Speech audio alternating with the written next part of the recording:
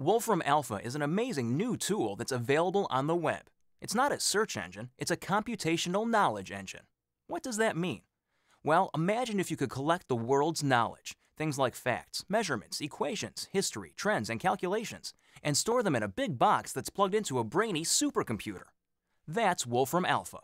It combines knowledge with computational power to give you answers about nearly anything and everything you want to know.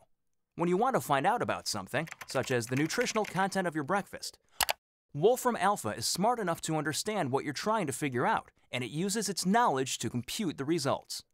Whether you're trying to crack a crossword puzzle, discover scientific facts, or solve an advanced mathematical equation, Wolfram Alpha gives you instant access to expert knowledge whenever you need it. That's Wolfram Alpha in a nutshell. But you might be wondering, how is Wolfram Alpha different from Google? Well, Google searches the web, seeking out web pages that relate to what you typed.